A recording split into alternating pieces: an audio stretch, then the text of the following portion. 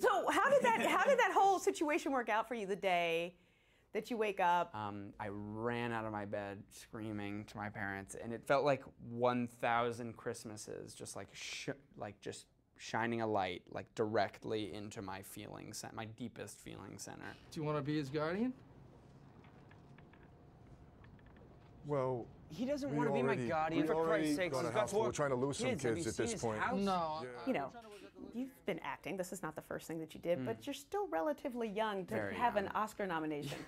My dad was actually nominated for an Oscar 13 years ago, and he, he's exposed me to a lot of other uh, older actors who had a similar amount of success at my age.